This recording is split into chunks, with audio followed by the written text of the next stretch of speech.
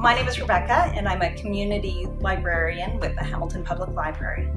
And I just read Armada by Ernest Cline.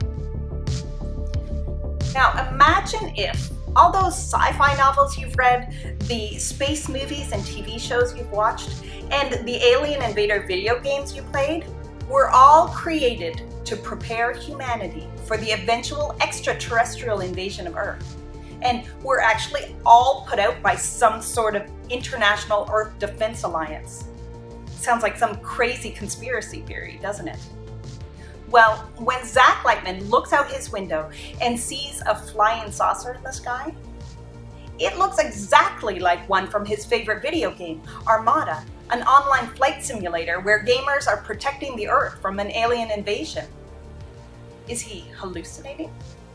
Or is there more going on here than people know?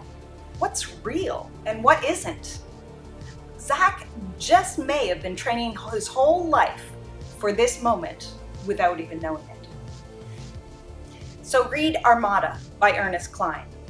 This is the second book by the author of Ready Player One, and it is an action packed, plot driven book that will keep you up way past your bedtime.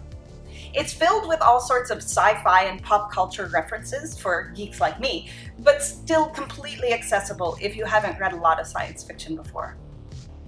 For an extra treat, listen to the e audiobook read by Wil Wheaton of Star Trek Next Generation fame. Both the ebook and e audio are available to borrow online from Hamilton Public Library.